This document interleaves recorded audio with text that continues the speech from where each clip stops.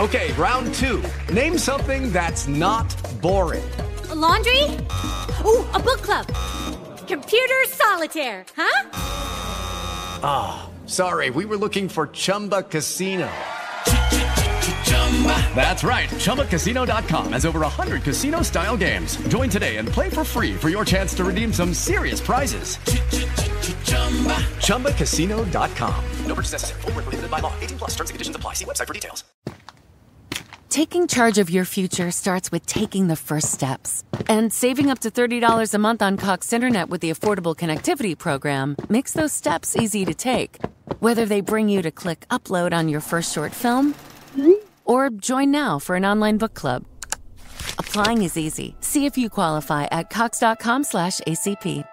Non-transferable one per household application and eligibility decisions are made by the FCC.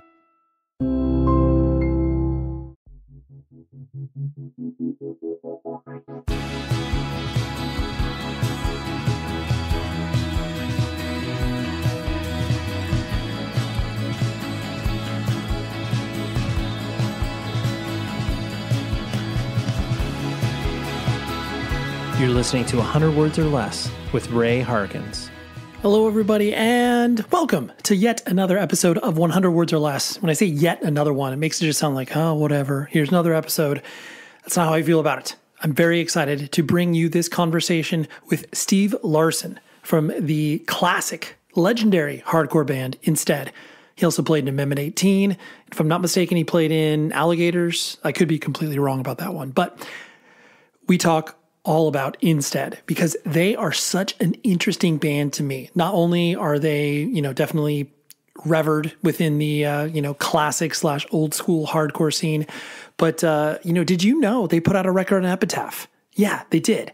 And they were a band that um, just predated so much of the stuff that obviously happened in the 90s you know the resurgence of all the old school hardcore that happened in the early 2000s and um, yeah more on that in a moment. But I have to thank you because I have been seeing a lot of downloads recently for all of the episodes I've been putting out, you know, doing bonus stuff. And I just appreciate you sharing and spreading the word where you can. Genuinely, genuinely do appreciate that. You can always email the show at 100wordspodcast at gmail.com. Love to hear feedback and just maybe saying what's up, whatever. I also get a lot of DMs as well, so you know you can feel free to follow along on the social media platform Instagram. I think uh, I think many of you are probably familiar with. Anyways, that's 100 words podcast if I'm not mistaken. But um, yeah, you can do that. You can also, for absolutely free, takes you maybe 30 seconds out of your day, go to Apple Podcasts, subscribe rate, and review. Those are all things that you can do because you subscribe, it costs you zero dollars. This podcast will come up ever, whenever we release a new episode. And then, um, yeah, if you leave a rating and review, it helps people find it on that particular platform. If you leave a rating on Spotify, it does the same exact thing 30 seconds.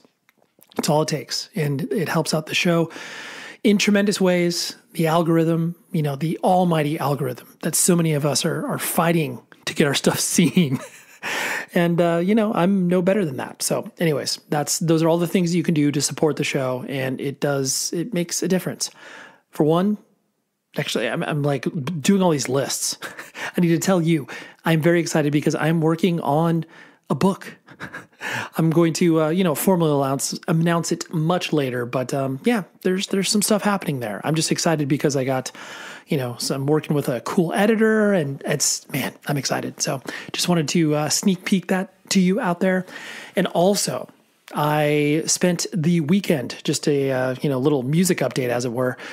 First of all, this is a, you know, very sort of not self congratulatory, but like I, I, manage a band. That band's name is Roman Candle. I flew out to the East Coast. They are a part of the Dying Wish headlining tour that's happening right now. I flew out to watch them in Philly and Brooklyn, and both shows were incredible. Was able to meet up with friends of the show and just just have a great time. But watching a band just like really grab people, make them pay attention, and that's what Roman Candle is doing. And it just I don't know, man, it gave me that really warm feeling in the soul. Like I, I'm like literally touching my heart right now.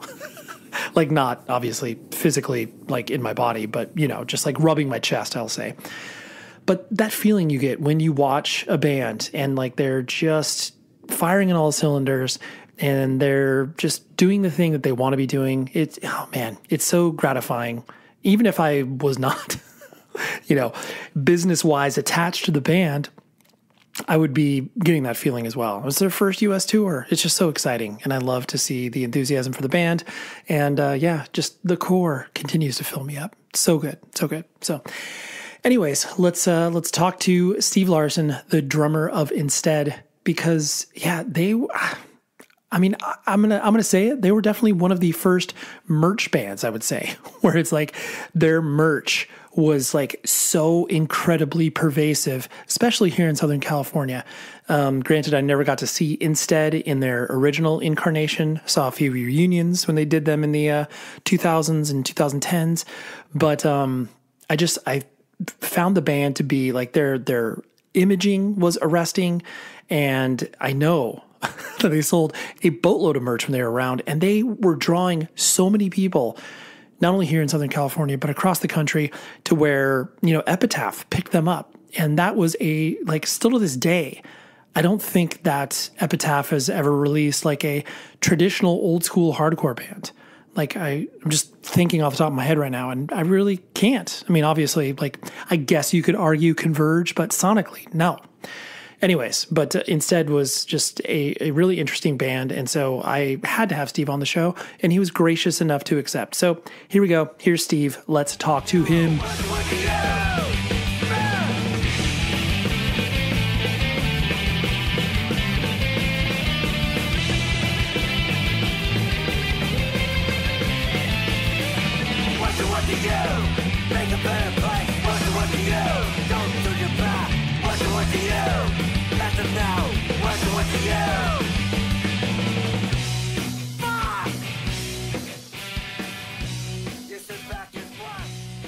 As a person of a certain age, I'm a little little bit younger than you, so I only got to see Insted when you guys did the you know a variety of reunion shows over the years. Um, oh, okay. But the yeah, but the band was always incredibly interesting to me because you know clearly you were obviously you know straight edge hardcore band, but you know as you kind of progressed, you know putting out obviously more than one record and mm-hmm. touring a lot and everything like that you it seems like you took swings you know like signing to epitaph as an example that was you know like a little bit different than obviously most bands that you were friends with and peers with because obviously it's it seemed like a very definitive fork in the road where it's like all right you either continue to be you know a hardcore band or you obviously go the uh, you know butt rock route um, which right. many of your peer, many of your peers did but um what, what I guess what inspired you guys to make that uh, you know decision to go over to Epitaph because that that still is a very you know interesting decision.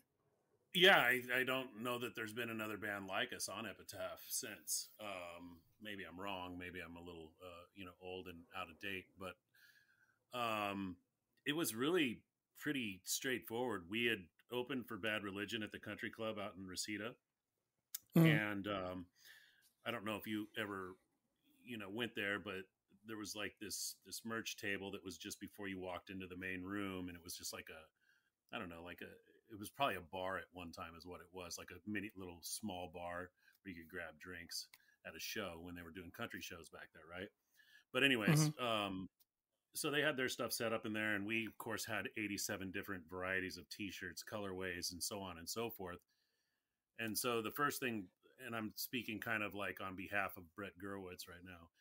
So sure. The, the first thing for them is who the fuck are these guys? And all this. Or they got so much. Yeah. Where they got so much merch. Yeah. yeah. and and so they they were clueless on who or what we were. You know what I mean? So as the evening progresses, we play. Place goes bananas, and we're just selling shirts like 10 to 1 to bad religion you know and so he took notice and he took notice of the the you know the the um the, the crowd the audience whatever you want to you know, call it. But he was like, Mhm. "All right, these guys, these guys have something going on, and I need to, I need to see if I can, you know, reel them in." And so, I believe the show was on a, a Saturday, and Monday morning he called Kevin. Somehow he tracked down Kevin and called him uh, and just said, "Hey, this is Brett Gurewitz," and blah blah blah. And I remember Kevin calling me at home, being, "Dude, Brett Gurewitz just called me. Like, what? What are you talking about? You know?" So it was like this whole like, it it was really organic. You know, um, it just was a guy running a record label and in a hugely influential band on us and many others. Um, you know, taking notice and and basically doing the, the groundwork to to get to us because it wasn't so easy to get phone numbers back then. Uh, it was landline to landline is what that call was, you know. So Yep. so it really just happened like that, and you know he asked if we had any uh, new material recorded, and we, you know, no, we don't. We just, uh, I think, I think, I'm trying to remember the chain of events. I think it was more like hey, can you come guys come down and meet with me? And then we went and met with him at West Beach Studios, which was also Epitaph headquarters at that time. Um, and and just sat down with him and you know he talked about what he wanted to do and what he saw he had like a business plan it was casual but it was like serious like he was looking at hardcore and punk rock in a whole different on a whole different level than everybody else in my opinion at that time and we Mhm. were a hard-working band if nothing else. Um, you know we made records we toured we came back we we rehearsed wrote songs made a record we toured you know and that's just what we didn't realize is innocently we were doing what what working bands are supposed to do right? Like you write songs you record them you tour them. And we we we didn't care anything about the the business aspects of it it's just what we did. And um so anyways uh so yeah you know you just asked us if we had any songs recorded and we said no we just have like a boombox recording of a couple things we're working on. He's like well that's fine. Bring those with you. And so when we had that meeting we had the cassette with us threw it on he listened to about 30 seconds of it maybe and goes okay. You know all right let's Sure. do this. You know like it was so like yeah and here's what i'm gonna do and you know it was it was just it was so quick and easy and we as a band we were never really interested in in following trends which I, I- think seems kind of weird looking back on it because it seems like we did follow a lot of trends. I, I think more we were kind of caught up in the wave of straight edge because while Insted was you know a straight edge band, I- viewed us more as like a posy band, and and even more so as a punk band, especially when you go back to Bonds of Friendship, and that's a pretty diverse record as far as like the way it sounds compared to what was you know Youth of Today or Uniform Choice or anything like that. You're hearing all the English influences. You're hearing, you know, yeah, you can still hear some Stalag 13 in there or whatever, but there's a lot of influences on that first record, more so than the seven inch and, and then probably even more so than the, the Epitaph record. Right. No, it's really, and I, I can totally like you painting that picture. I can see that happening so clearly because it was like, to your point, that era of, you know, hardcore, like there really was no plan of attack for a hardcore band to like continue. I mean, the only band that you could really point to would be like, oh yeah, like sick of it all. Like, you know, maybe we could do something like them, but that was not again not common and so it's like okay we need to either mold our sound to morph into something that would be you know quote unquote more commercial or you know there's a pretty short shelf life for what it is that we're doing but that's really cool that you know brett obviously the, right. the, the latter of what you said there is what it was to us. We knew we had a limited shelf life. We knew we were limited in Kevin's singing ability, for example. Not no offense to Kevin, it's just he couldn't do something more than what he was already doing. You know, right so so we we we absolutely discussed that as well. Like, how much longer can we do this? You know, uh, there's very few bands like Bad Religion who kind of you know wash, rinse, repeat, and it's still great, right? Like their their Mhm. one trick is a very good trick.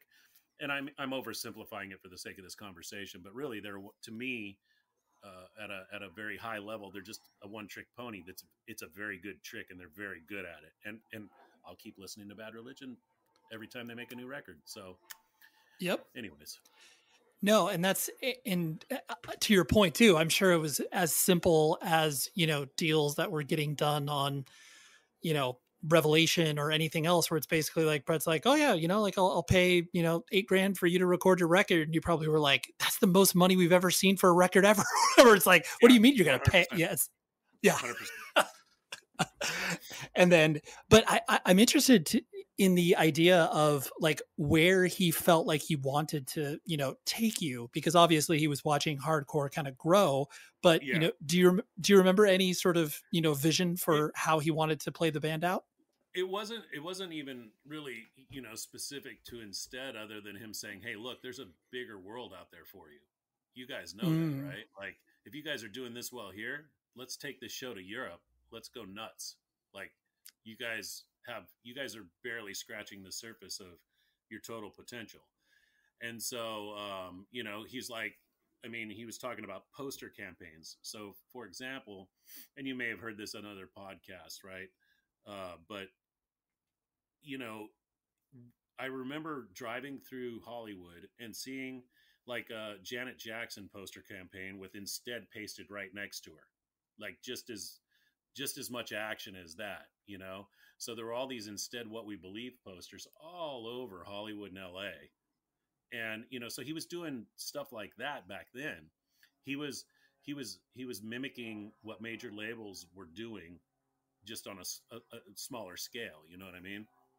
Yeah for sure and just and and that idea of taking what you guys are doing and making it you know give it a little more of a cosign and obviously professional sheen to it which is you know realistically like anybody that not only listens to the epitaph record but you know looks at just graphic design and everything that you put into it it's just like oh yeah this is just like you know maybe a little bit of a step up from what they did previously Correct. That's absolutely correct because we had a budget to do a record cover, so we hired uh, Gavin Oglesby to do it. You know. Yep.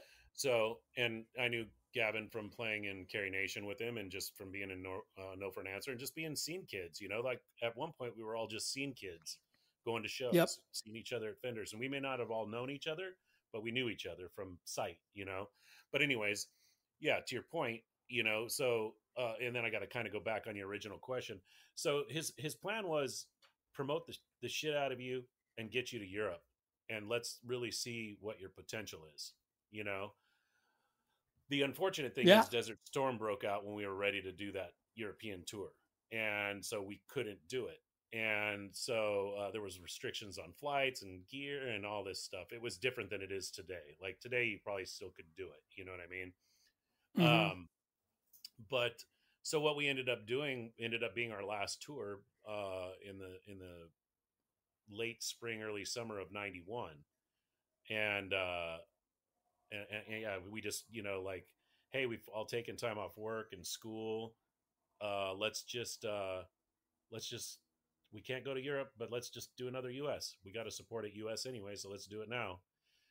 And um, yeah, I mean that was I mean that's pretty much what his plan was. Like put some money into you, uh, push you out to Europe, and you know put some money into you being ad like we were in ads because uh, against the grain and what we believe were released i believe on the same day and um so you know we were getting ad space with bad religion and maximum rock and roll and uh flip side and and all the big zines back then you know like full page ads.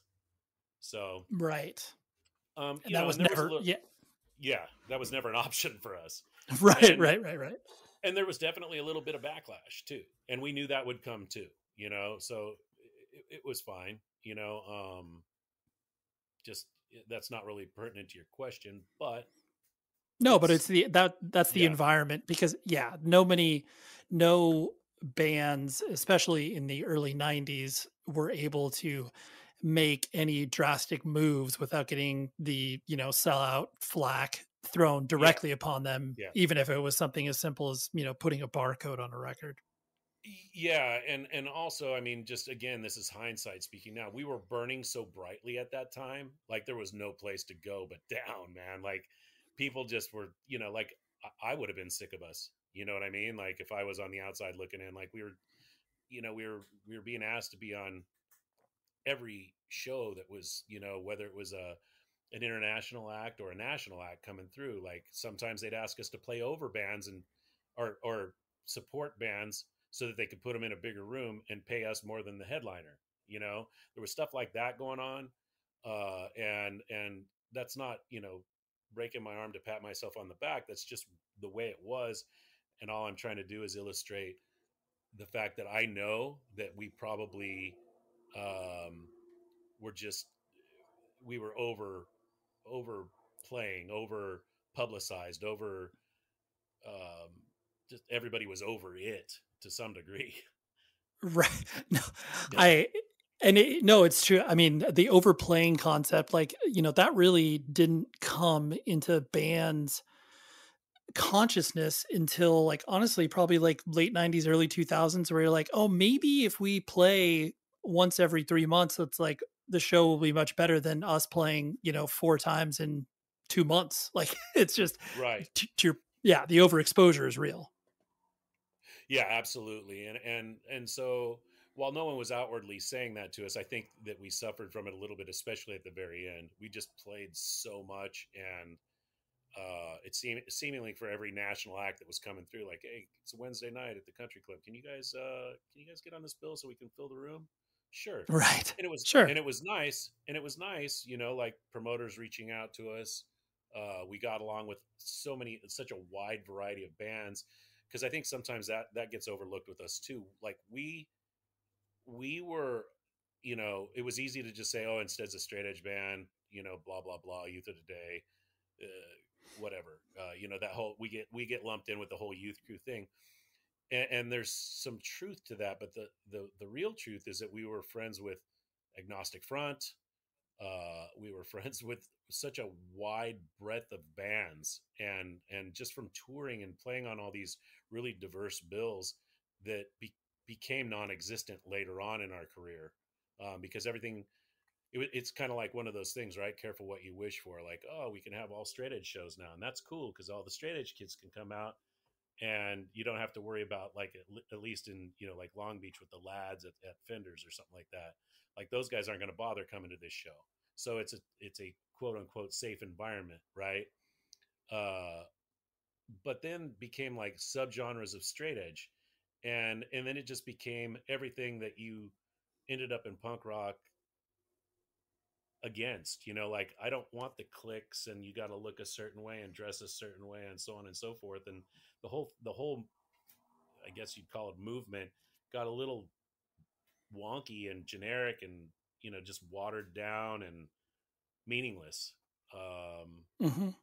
and it would just became like like how straight edge are you you know like I, I i to the you know back then and to this day i don't care if somebody's straight edge i could care less you know like who cares right right it's a personal it's a personal choice and you guys i mean you guys obviously always were even though you were proud to display that you were straight edge you were sure. always in my opinion more aligned with a seven seconds than you know i mean obviously 100%. sonic right it's like it didn't it didn't evolve into the whole you know like obviously hard line and like all that sort of stuff until after you guys were broken up but at that you're especially with your willingness to play with all of these type of bands like it didn't make you uh, yeah. uh, sectioned off to where you could only play with like okay here we right. go like here's the 15th show with you know uniform choice or whatever correct in fact we didn't play with them much you know I, I think we played with agnostic front more than we played with with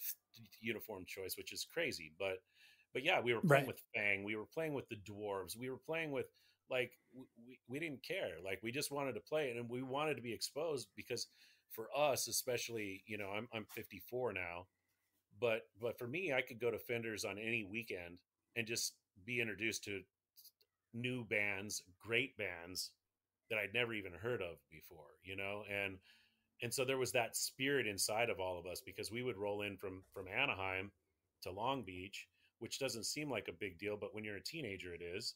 You know, it was that was an adventure, and you know, you get you get to Fenders and you get to you know, like Jane's Addiction was playing on punk bills. You know, like so you get exposed to all these weirdos and freaks in a good way. You know, and uh, that's how I found most of the greatest music I ever found in my life. Rockabilia.com is back. I mean, they've never left. Let's be honest. They are such a supporter of the show, and I want to thank them immensely and in turn, they want to thank you as a consumer by giving you a promo code, 100 words or less. You can enter as the promo code and we'll get you 10% off your entire order. They did some amazing Halloween collaborations that if you visit the site soon enough, they probably still have some. How about Misfits, Aquabats, Gojira, Type Negative, like just to give you a nice little sampling of what it is they got going on. But trust me in saying they have merch from bands that, you know, your mom and dad would like, maybe your brother or sister, or maybe your aunt or uncle. This is a great gift giving thing. You can knock out all your shopping in one fell swoop. They ship it from the Midwest here in the United States. It gets to you very fast, and you will just look that cool by, you know, putting this under the tree and like, you know, your sister opens up her present and she's like, "Oh my gosh, I can't believe you got me this cool band shirt that I've never seen before." Let's just make you the hero at the holidays. Wow, how about that? That's a really good tagline. Anyways, rockabilia.com, 100 words or less is the promo code, 10% off your order, and uh, yeah, benefit all of the things when you are buying from Rockabilia yourself, your family, your friends, etc., etc. Anyways, rockabilia.com, 100 words or less, the promo code. Go buy now. This show is sponsored by BetterHelp. You know those moments in your life where you reach a fork in the road and you're being like, left, right. I don't know. Left is like, you know, palm trees. Right is like forest. They both look like good ideas, but who who do I turn to? Do I talk to friends, family? And sometimes you need a third party to be able to help you walk through these monumental decisions in your life. And that is where therapy comes into play. I'm a huge advocate for therapy, and it is a very beneficial thing to me, and I know many of my friends. And that is why I love working with BetterHelp. If you're thinking about giving therapy a try, start here. BetterHelp is amazing because it's entirely online. It's designed to be convenient, flexible, and most importantly, suitable to your schedule. All you do is pop onto their website, fill out a brief questionnaire, and then you get matched with a licensed therapist. And you can switch therapists if the vibe isn't right, and at no additional charge. All of this stuff is incredible. Let therapy be your map with BetterHelp. So visit betterhelp.com slash Ray today to get 10% off your first month. That is a great deal. And I know that I'm saying that because it's an advertisement, but straight up an awesome deal. That's betterhelp.com slash Ray and get therapy. It is a amazing thing to get for yourself. So betterhelp.com slash Ray for 10% off your first month.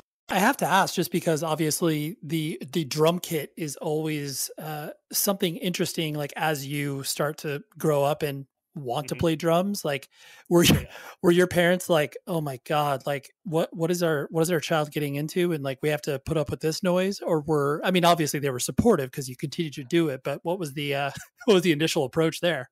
So so uh, yeah, I was fortunate. I grew up in an old craftsman style home in Anaheim, and our garage was detached from our house, and it was quite a ways from our house. And then it was off of an alley, so I wasn't really going to bother any houses near me. Basically, my parents gave the garage up to me, and um, so I would just go out there, slap on headphones, and just play along to things, and just teach myself and over and over and over and over, and you know, just keep, you know, exploring music that I like, you know, even things I didn't like just to learn something. You know what I mean? But eventually, I, I soundproofed it, and then you know, then people started coming in with their guitars, wanting to play with me because people knew I played drums now, and uh, you know, but but go back, going back to your you know original question, they were very actually for my family being poor, they were very supportive and my fa- my my parents sacrificed and bought me a drum kit and uh, you know i'm re- i'm super appreciative of that and i got i never got anything less than their full support to play drums which was nice but i think it helped having a detached garage you know half an acre from your house Right. you know Right. so No, that's that's it. That's incredible. And it, honestly, j- that idea too of usually the drummer's place ends up being the congregation point for many obvious reasons. And so for you to have that space was, you know, great because then you could just entertain all of these different weirdos where it's like, all right, we'll play cover songs, we'll be, you know, Yeah. a punk band here, a rock band here, and then just, you know, create. Yeah, yeah, that's all I was trying to do. And my whole goal was just be be a good enough drummer to play in a band. That's all I cared about. I didn't care about being the best drummer. I didn't care about any of that. I just wanted to play in a band.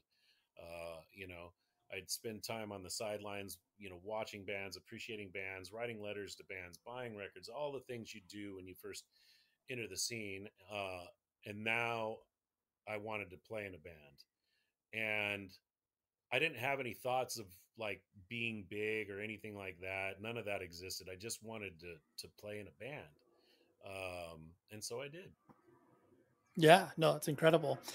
And I mean, I know your entry point, just based off of uh, previous interviews that I was looking into, you know, like a, a lot of the, as far as like indie stuff is concerned, stuff that was clearly not in the radio or your parents were listening to, you know, like social distortion, obviously uniform choices we spoke about previously. And can can you speak to what I guess kind of drew you in? Was it obviously just the you know the fact that the the sounds hit you? Was it you know the energy at the shows? Like what what drew you in?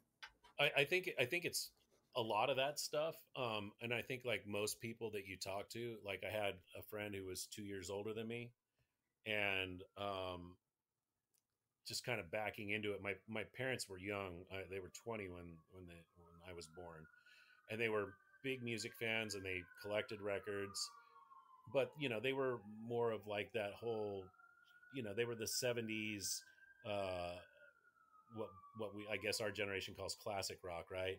So you know the Led Zeppelin, the the Aeros, early Aerosmith, um, uh, Black Sabbath, all, all that stuff was on heavy rotation in my house, and so there was no like music was just in my life.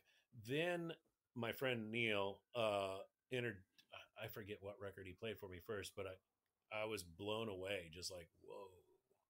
So it was English punk. I just don't remember if it was GBH. I, I, I discharged. I don't. I don't remember. But but I got sucked in on English punk, uh, and then um, then he told me about this radio show, Rodney on the Rock, um, where he played this stuff. So I started um, recording it on on cassette. His show. I would just sit there and record songs and take notes of who he said the band was. And then i would save my paper out money and buy records. And and that's kind of how i and well and then you know once you go to your first show like it's one thing to hear the music and especially then you know like some of that had a lot of shock value to it. You know like fear the record had a lot of shock value.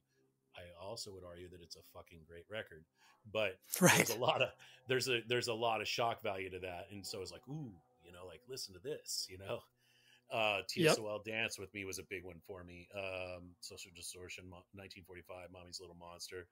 Um but some of that stuff came on later from listening to Rodney on the Rock and just getting introduced to all this. And eventually, Rodney on the Rock punched me in the face with Minor Threat.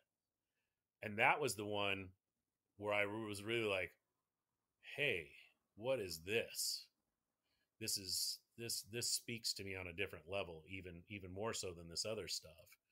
And then it was like, oh wait, then I then then you you know you find out about straight edge and stuff like that. And I I come from a family of hard partiers, and I was already drinking a lot, doing drugs, uh, and it was not frowned upon in my family because that's what everybody did. All my uncles have been through rehab, you know, so on and so forth. Um, and I, I don't mean to laugh like, haha, that's funny. It's just that's what life was. That's what you encountered. Yeah. Yeah. yeah, yeah. Nobody was frowning at me drinking at 13 years old at all, you know? Sure. So what I real what I, I think what was good for me is that um everyone around me was bottoming out. And so I didn't have to experience I, I I experienced it through them and told myself I don't want to do this. This is not the direction I want to go. And then to find out that there's this crazy sounding band that is all about not partying and not fucking yourself up and not being nihilistic like whoa okay let me let me look into this more and then i i went down that rabbit hole and i never came out and that's amazing that, yeah as i say that i still love everything else that i you know i i'll listen to fear the record sometime next week for sure you know? Um I, I love all the you know like the, the, the orange county punk the vandals the you know uh, adolescents um, all that stuff. It, it, it's all really really important stuff to me. Di like i love di so yeah, uh, you know, it all it, yeah, it, it, all started to draw you in, and I, I love that. That's what's so fun about these stories is that you're you're drinking from a fire hose and you're just consuming 100%. it all because like yeah, because even though you know that the bands sound different, like you're not categorizing them by genres. It's basically just this huge umbrella of like punk and whatever that means all yeah. of this stuff gets shoved in there. It's so exciting. Yeah, I, I, especially in the beginning, I wasn't differentiating between corrosion and conformity, um, GBH, fear, uniform choice. It was all just punk to me. You know, they were definitely, you know, as you evolve in it, you start to realize, okay, there's these are subgenres. You know, these bands go in a little box, I guess.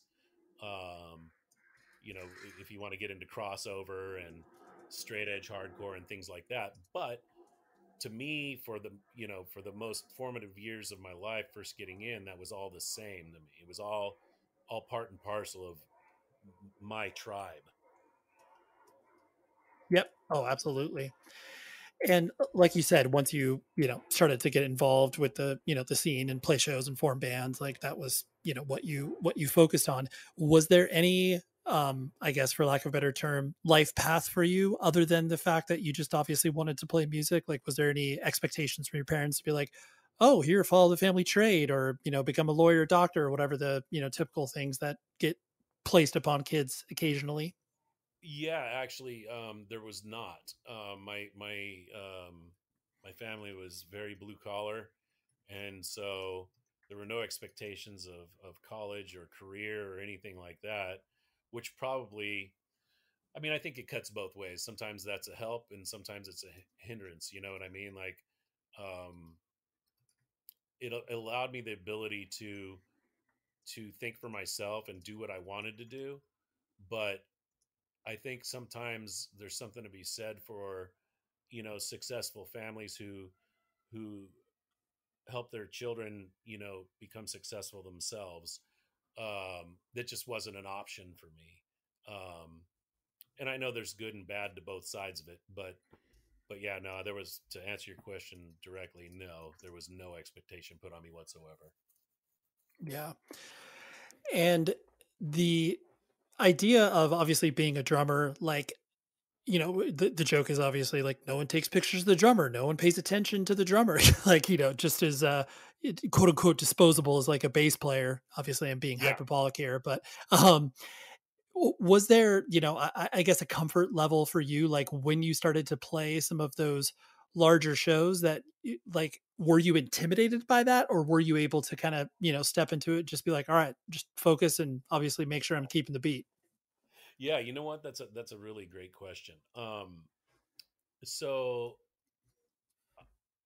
I everything happened so fast.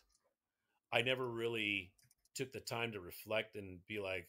The only time I ever remember being intimidated was our first Fenders show, and we were opening for the Bad Brains.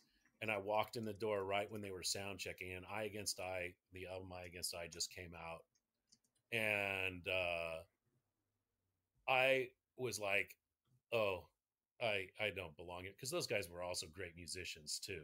So like watching them sound check, like just standing there with my jaw on the floor, like what am I doing? Like I oh my gosh. right, right. You know, like so that was the only time I really ever felt that way. After that, um overall, um I felt like I could just hold my own you know, especially when it came to punk and hardcore. I, I, I knew like a lot of people were asking me to help them in bands, like either play in their bands, fill in for somebody, or or whatever. So I think you know like i was getting messaging like hey you're you're a good drummer people want you to play in their bands help them out whatever um that looks like it you know whatever questions come your way hey can you help us you know we're in the studio we don't have a drummer you know like hey would you would you consider playing with us? All, all that stuff. So I, I always felt comfortable and confident until we opened for our scream opened for us um at the country club. And this there was this they had this new drummer this guy uh his name was dave grohl. I don't know if you've heard of him. And uh Yep. he's like hey man i broke my bass drum pedal. Uh do you think i can use yours? And i was just like oh fuck man i hate letting in my gear Yeah, this this boner's gonna break it. Yeah, totally. right. he was like this greasy long-haired kid and he had like army pants cut off and thermals underneath them and he looked every bit the part of a hardcore kid you know uh Yeah, and and and so I'm like, all right. So I'm like, I'm just gonna stand, you know, side stage here and watch this guy, make sure he doesn't screw up my shit. And you know, for as confident as I was feeling, that rug got pulled right out from underneath me that evening. Like, oh, okay.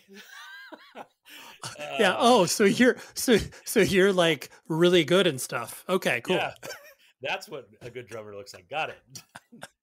Noted. Uh, yeah. Well, and it's fun. It's funny too because you, I mean, like every child and teenager has an ego about themselves. Like once they get any sort of recognition and notoriety, whatever that may mean, I don't care if it's sports or whatever. And so, anytime you are able to eat a piece of humble pie and be like, "Oh, so other people like, okay, got it. Like that's good for you to swallow that," you know? Hundred percent, hundred percent. And I had no idea what he was going to go on to become, but hey, there it was, right there. I should have known. Yes. Yeah, exactly. And, and by Um, the way, total sweetheart of a dude. He was so nice and so humble. Uh, but yeah, it was like, ugh. Right. Oh, I, I don't. Yeah, I don't care. who- Totally, I don't care who you are. It's like, you know, when I mean, drummers, as you can understand, are a very particular type of person from the cymbals they use to the way that the toms are set up. And so it's mm-hmm. like the moment that anyone messes with your stuff, it's kind of like, oh, damn it. Like this is, it's going to break. It's going to break. Like that's just a reality. One hundred percent. And for me at that time, I had I had epitaph money. I was I had nice gear, and I did not want anybody messing it up. So you know, as yeah. Yeah. lame as that sounds, that was the truth of the matter. Like I knew I had nice stuff. Don't mess it up. Yeah, no, for sure, for sure.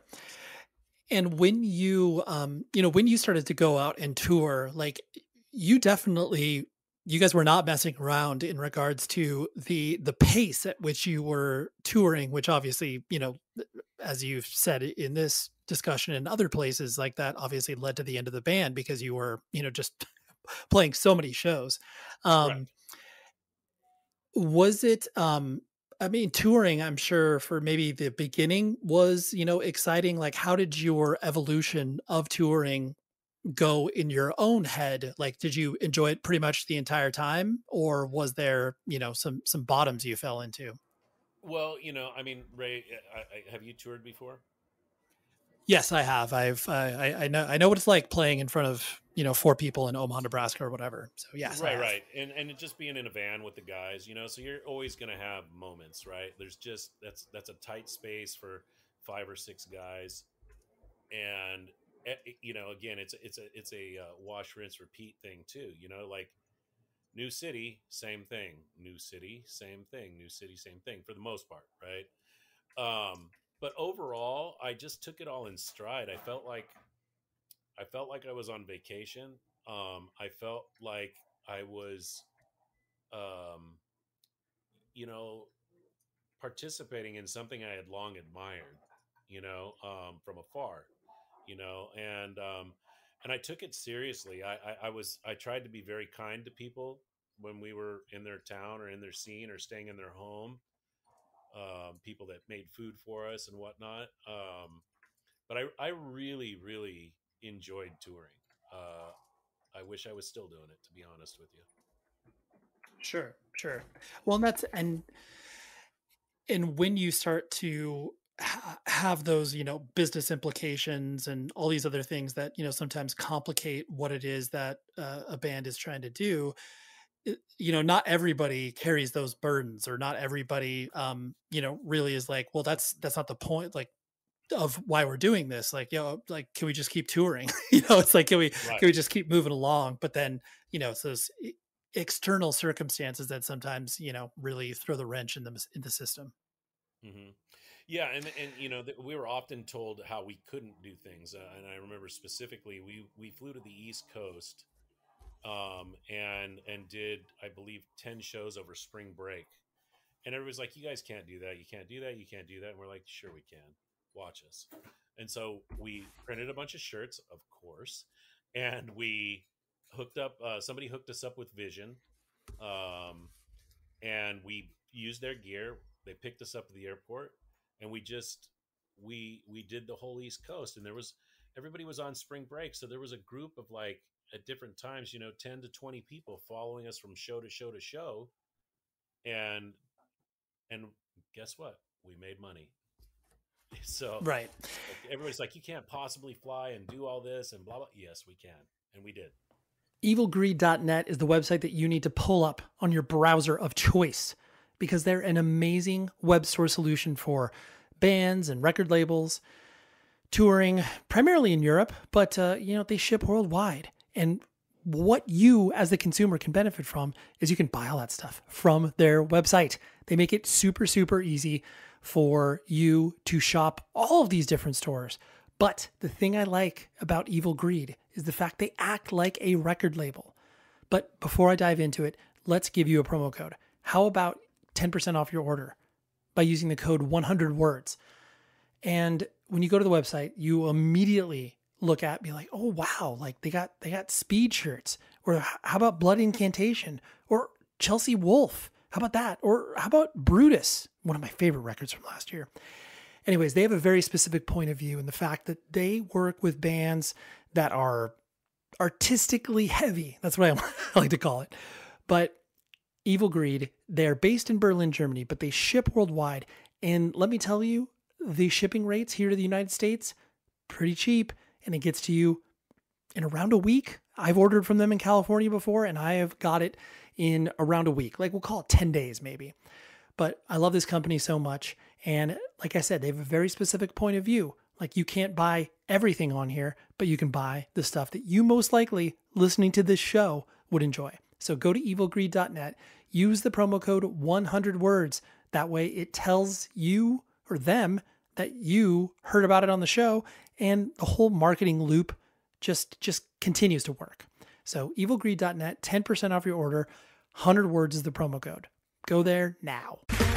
Okay, round two. Name something that's not boring. A laundry? Ooh, a book club. Computer solitaire, huh? Ah, sorry, we were looking for Chumba Casino. That's right. ChumbaCasino.com has over 100 casino style games. Join today and play for free for your chance to redeem some serious prizes. ChumbaCasino.com. No purchase necessary. Void where prohibited by law. 18 plus terms and conditions apply. See website for details. Speaking of the merch, like you were joking about the very beginning, like I mean, you guys were definitely a you know merch band before people even knew really what that meant. Like, Right. You know, where it, it, that it, gave your band a you know sheen of profession professionality, even though it's not even a word. Um, Right. it- and like, how did you guys? I guess hit on that. Was it just something that you kind of started to trip into and you're like, well, of course we're going to print more shirts because we sold out the last, you know, two shows or whatever. Um, or was that kind of like a, a really, you know, important piece of the band as far as the, you know, visuals were concerned? Well, um, so I would say by and large we learned from the masters, and the masters to us were uniform choice and or wishing well. Um, so I remember distinctly one year, I, I think it was my sophomore year of high school. I was going to see Uniform Choice and White Flag, and I forget who else out in Riverside, I think it was. And I told my mom, you know, hey, can can instead of like going to get back to school clothes. Can you give me money and I'm going to buy a bunch of band shirts because I knew the you know uniform choice and the owners of Wishing Well were going to have all of their shirts. They were going to have Youth of Today. They were going to have Blast. They were going to have Unity. And guess what? I bought every one of those shirts. My mom gave me the money, and I, I did back to school shopping at a show. That's true. but anyways, um, that's kind of where it, like I was just following their lead. Like it made sense to me. Like, and I was a kid who liked shirts, and I would I had been stenciling my own shirts for bands that I liked that didn't have shirts. So I was like, hey, um, it kind of goes back to what you know what we were talking about touring. I wanted to make sure that I was kind and and nice to, and respectful to people, um, because they're paying money to see my band. You know what I mean? And conversely, I also wanted to make sure that if somebody wanted a shirt, we had a shirt. You know, and in our case, a shirt or ten. So you know, because they might need a long sleeve, they might need a hoodie, they might need sweatshorts. I don't know. I got to make sure I'm covered. Um, but uh, but yeah, that we were just following that lead, and it was to your point, it was guerrilla marketing before there was guerrilla marketing, you know, uh, or the term existed, and and I was largely tasked with the visuals of Insted. I'd say probably ninety percent of what anything that's Insted was has my hands on it, as far as the the aesthetic. Right, right. And that and I mean I think that's really why the you know aesthetics especially of that era of hardcore are so long lasting because it has that it has that weird combination of like timeless yet of such a specific era where it's like yeah you know the it just cuts through. Like you know anytime you see the you know uc on shirts it's people like eh, don't even have any connection to like punk or hardcore like oh that's a great image. Like it's like same thing could be said about the Insted stuff as well. Yeah US, uc straight alert straight alert straight alert straight alert straight alert. Like it's great. You know even uc Right. head is great you know and, and they're very similar but they're quite different at the same time.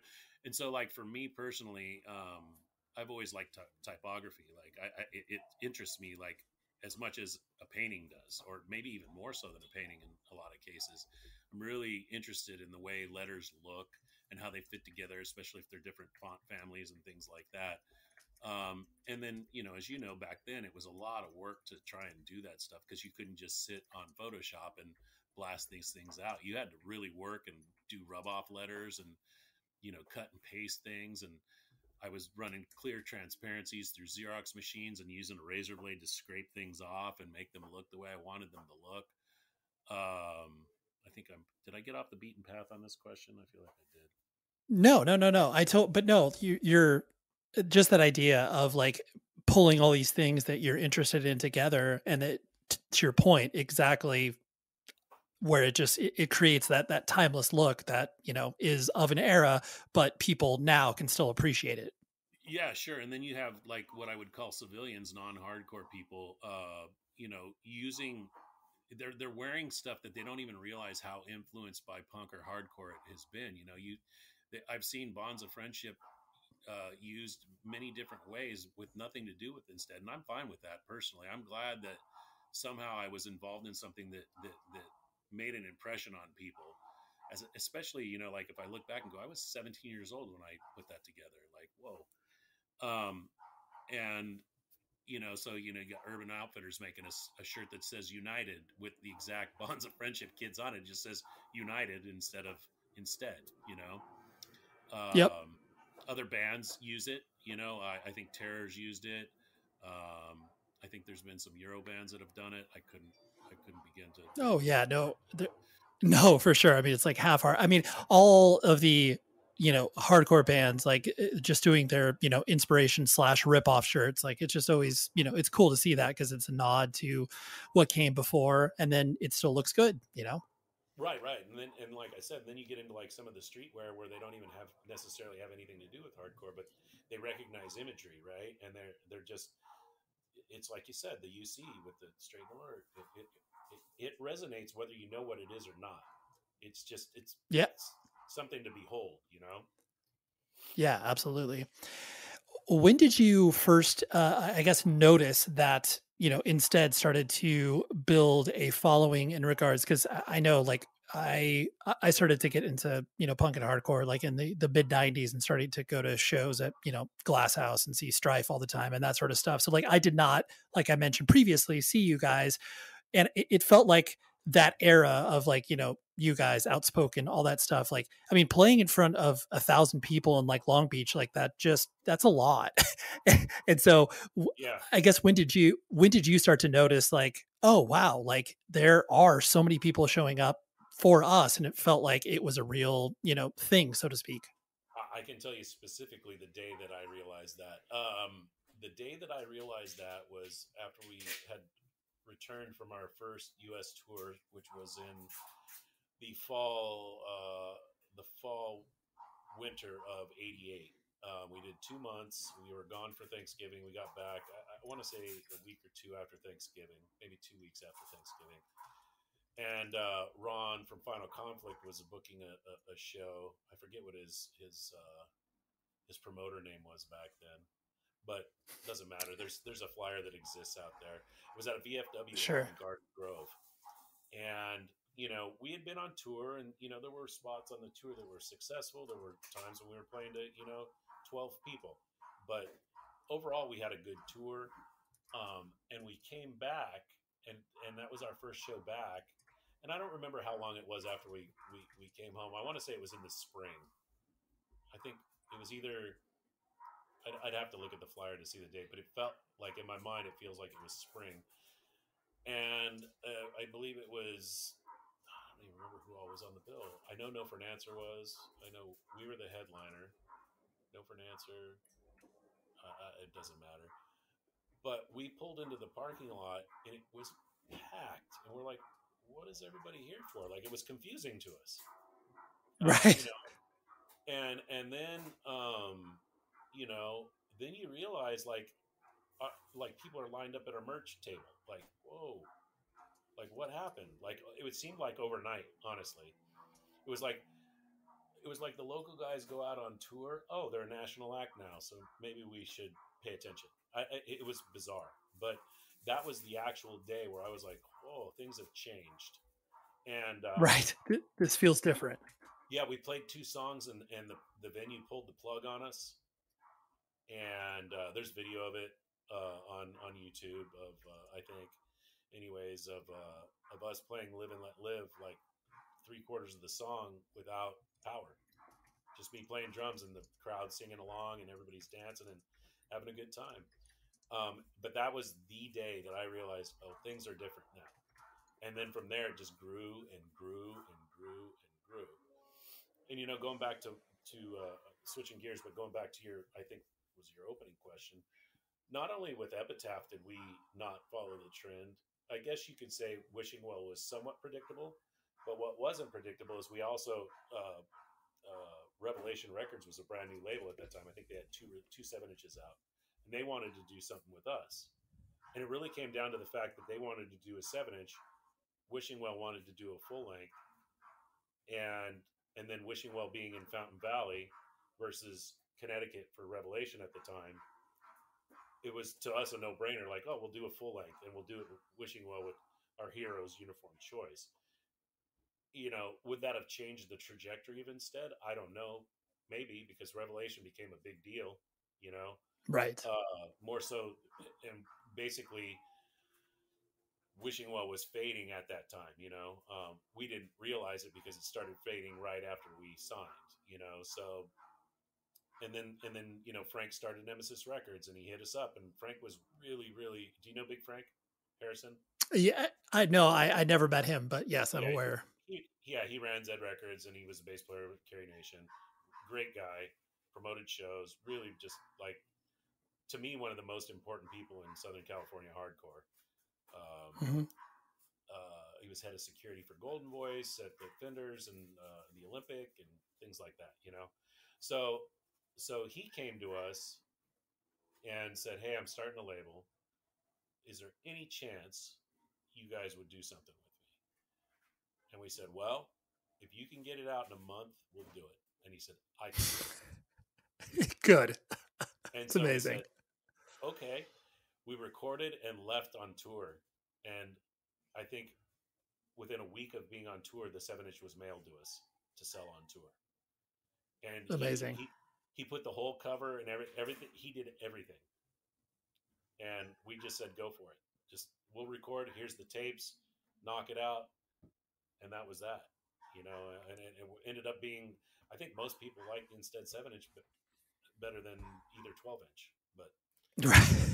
It yeah yeah well it's like uh, uh, those those things of where you are just operating off of pure instinct sometimes 100%. just res yeah just resonate with people you know in, in different ways and it's not like one is better than the other it's just like a pure preference where you're like i identify with this record because it just sounds like you know children playing in a room or whatever Right, right, right. Yeah, too, like it was just, hey, this is Frank. We can help him out, and he can help us out yet again, because it seemed like he was doing nothing but helping us out. I mean, we just we hit it off with Frank right away, and and so it seemed like the absolute right thing to do. There was no question in anybody's mind that Nemesis was going to put out our seven inch once he presented right at the end of the month.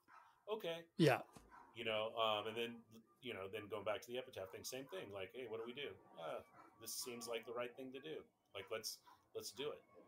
And right. just yeah the logical progression. Yep. um uh, so, something that i find interesting too about you know kind of the, the fact of what you were talking about in regards to you know straight edge literally being obviously like a marketing ploy um which sounds so strange because you know that can be so alienating to many people especially as the Right. the scene kind of progressed. Um and you know i know there obviously the you know famous slash infamous you know chain of strength practice space photo session for the seven inch. And you know i know that a lot of of that sort of atmosphere of being like oh does this like does this even feel anything of like why we got into it? You know kind of was one of the many reasons why you guys you know stopped playing. Did you did you feel like it was kind of creating a confusing environment for either like kids coming to shows and that sort of stuff or was it just something that you guys were like this has become too for lack of a better term commodified? Yeah i mean i think all of that stuff is relative what you're saying there um, i think some guys realized it before i did say like billy rubin from half off or before even before he was in half off he recognized how silly it was becoming right? And so he basically revolted, you know, and, and it was weird to us because the dude was our friend and he was a really good friend of ours and an early proponent of Insted. Him and Dan O'Mahony both were early on before Insted had played any any Fender show, and, and so they were like the first guys that weren't in our in our local local scene in Anaheim. You know, these guys were from Huntington Beach. They they're they're driving to see us practice and hanging out with us, and we're driving out there and hanging out with them, and uh, so there were guys that definitely recognized it before I did. Like, and I, Billy Rubin's always the one that stands out in front of me uh, the most to me, um, because I was kind of bummed out at the time. Like, man, what happened to my friend? Like, why does he hate what I'm doing? You know, and as you know, then I started to go, oh yeah, he just saw it before I did. You know what I mean? He he he recognized where this was going and and and how, to your point, how alienating this can be for people. And that was the part I really hated was the alienation of like, uh, you know, the the the, the hard edge, um, straight edge movement, uh, hardline, uh, vegan movement too. Like that started up uh I, I think right before our last tour. Um and there was we i, forget i i don't know. There was some conflict between us and some hardline uh bands back then because we were the complete stark opposite and then i had a i had a weird um what would i call it i i, I had a weird juxtaposition with with Insted this posse band i like to fight so I sure wasn't. I, I was like, I was a pretty negative guy who would fight anybody. I didn't care if I got beat up. I, I'll fight you. If I think we need to fight, we'll fight. So when I had these like hardline guys running their mouths, I was like, you know what? And there was there was some issues in Cleveland too. uh, like I was always the guy to just say, oh, "What's everybody's everybody's bumping gums over here? Like, let's let's stop talking." You know, right. Let's sol- let- let's solve this problem, whatever that may yeah. be. yeah, whatever that is. It's completely juvenile and stupid, but that's where I that's where I was at, like my headspace. Um, but I really did. I hated I hated how quickly people would dismiss us or associate us um, with just like vanilla youth crew. And don't get me wrong, I'm not, you know, I, I can totally look at it, you know, objectively and say, well, it's not like we were, you know, some technically ripping band. Like there's nothing earth shattering about Insted. Insted was a live event. We were a good time. Uh, We, we, we, we got along with everybody and we, our shows were just a good time in general, most of the time. Um, but I could see how people would just, you know, push us to the side, uh, for something a little bit more, um, diverse or unique or whatever you want to call it, you know. Um, but we, I definitely disliked how quickly we were put into a box, and I also didn't like putting people into a box. You know, I spent a lot of time almost as like a straight edge apologist, like, no, man, I don't care if you drink. I don't, I don't care at all. You know, like, just be a cool person, and I'm good. You know. Uh, so yeah, I, I think that. Yeah. sure. Yeah, for sure. Um, and then, you know, I mean, obviously after Insted, you know, you've you stayed involved. You clearly still care about, you know, hardcore playing in bands and um, you know, staying connected. And I mean, you don't need to. Like, obviously, many, you know, quote unquote, you know, normal people, like they kind of, uh, you know, phase themselves out and just don't stay connected because it just doesn't resonate with them anymore. What uh what keeps you, I guess, connected and wanting to still, you know, create and either go to shows, hang out with friends, and is that just in your bones? Yeah, it is. I mean, um, you know, I it, like it, it- it's funny because I feel like America's like finally catching up to Europe in this in this uh, sense. Like it's not uncommon to see, you know, um, I don't want to say elderly, but you know, older, old, much older people, people my age, into hardcore in Europe. It's completely to them. It's no different than liking Aerosmith or freaking Britney Spears. Like, oh, this is the music I'm into, and that's what I'm into.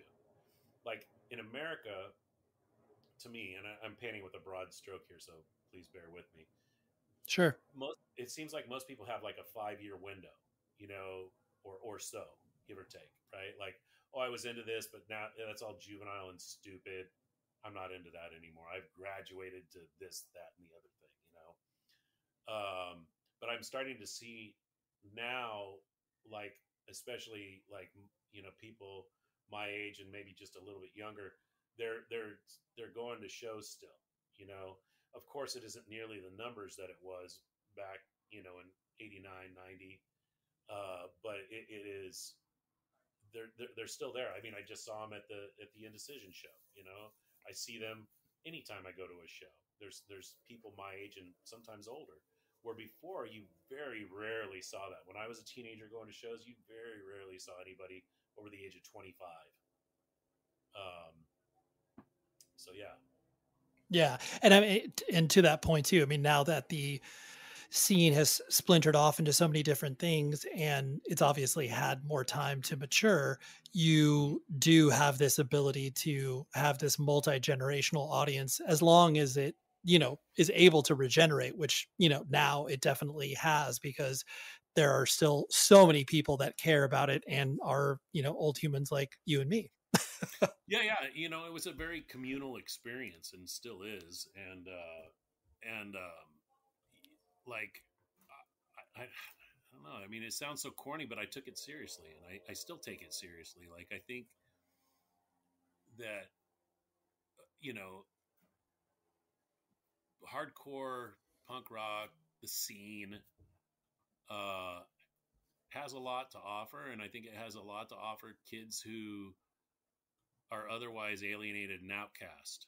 And, um, you know, dare I say, might have saved my life, you know? Um, Mhm.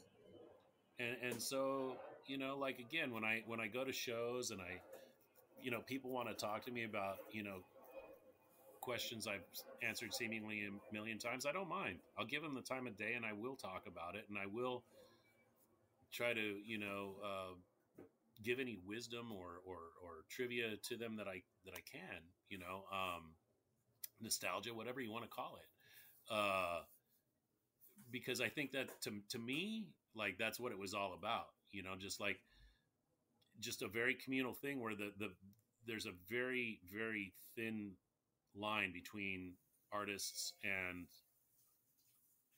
fans. You know, if Yep. I, I don't know how else to say that. Yeah. Oh, absolutely. And that's, I, I think that's why people hold it so dear because it is something that is pretty unique to this style of music. And even though we're looking at this through rose colored glasses, you know, there's much of it that still holds true, even though, you know, it's evolved over the past, you know, 20 to 30 years. Oh, sure. Yeah. It's a much different, hardcore is a much different thing than it was back in 89, 90 when I was thriving in it, you know, but it, it doesn't make it any better or any worse. It's just different and it, it has to evolve, right? Like it has to, to stay relevant. Yep, exactly. Like, yeah, it can't just rest on its laurels. It needs to, you know, morph and change and throw old stuff out and bring new stuff in in order for obviously the, you know, youth movement that this is meant to be to still continue and to to carry itself on. Yeah, absolutely. And and you know, and then there's a handful of, of, of those people that go back and, and do their, their homework. You know, they, they they go back historically and listen to, you know, bands from the late 70s early 80s through the mid 80s and 90s and, and try and understand what influenced you know how they ended up where they're at you know um, which i think is really important um, plus there's just a lot of great music you'd be overlooking if you didn't Steve Larson, everybody. Well, thank you for downloading this episode, listening to it, streaming it, whatever it is. But and thank you to Steve because uh, he didn't need to do this. And a big shout out I know he'll never listen to this, but Dave Mandel from Indecision Records, because he was the one who brought the idea to me. And I was like, you know what, Dave? That's a really good idea. I love that. Next week, I have a great episode because, I mean, let's be honest, they're all great, right? but this is another discussion. A person I have never spoken to before, but was such an engaging and electric chat. Liz D'Angelo from Filth is Eternal, who just released a record on MNRK Heavy many many people work over there that I love dearly and this idea came across the table and I decided to have Liz on the show. She identify or they identify as they them. I was going to say she and I was like no, I'm just completely butchering the pronouns and that's not cool. But um yeah, Filth is Eternal, awesome band from the Pacific Northwest. Really really interesting upbringing, story, pursuit of art, all of those things. So that's what we got next week. And until then, please be safe, everybody. Okay, round two. Name something that's not boring. A laundry? Ooh, a book club. Computer solitaire, huh? Ah, oh, sorry, we were looking for Chumba Casino. That's right. ChumbaCasino.com has over 100 casino style games. Join today and play for free for your chance to redeem some serious prizes. ChumbaCasino.com. No purchase necessary. Full prohibited by law. 18 plus terms and conditions apply. See website for details. Hello, I'm Chelsea Peretti. Do you feel chronic existential dread but love talking about delicious snacks? Call me. My podcast is relaunching. Do you fear wild, dangerous animals to the point where you're constantly watching attack videos and reading articles about wild animal attack survivors or those who succumb to attack? Call in. We can also discuss reality shows and emergency room footage. Listen to Call Chelsea Peretti on Will Ferrell's Big Money Players Network on the iHeartRadio app, Apple Podcasts, or wherever you get your podcasts. A family favorite for three decades, the Bull Run Festival of Lights dazzles with two and a half miles of sparkling holiday lights. See more than 600 light displays, with new displays added every year. Ooh and ah as you drive through the Winter Wonderland, where it's always snowing, and come see the tallest light display yet. Extend the magic of the holidays by visiting early, starting November 10th. Get your tickets now at bullrunfestivaloflights.com. That's bullrunfestivaloflights.com.